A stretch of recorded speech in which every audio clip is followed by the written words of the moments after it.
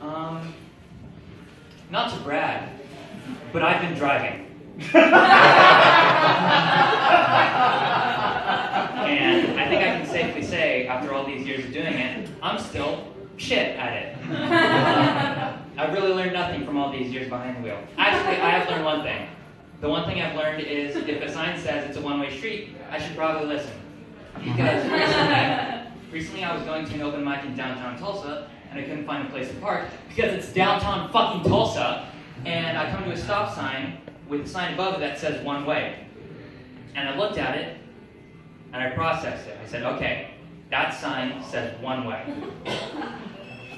The arrow on that sign is pointing to the left.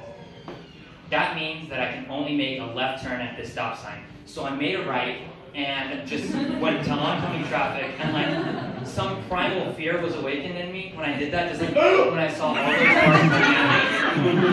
cars. And then I swerved into the nearest parking lot and everyone honked at me and I cried.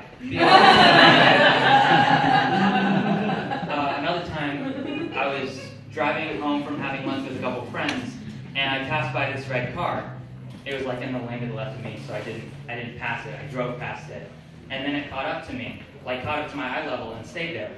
I was like, all right, they're pissed about something. So, but I look over and there's a girl in the passenger seat, and she does one of these. and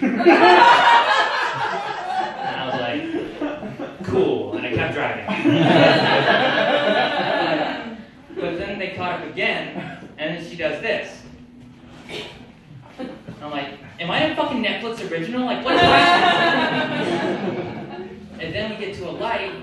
she rolls down her window and motions for me to do the same. And then I got really nervous and drove away and ran a red light. So.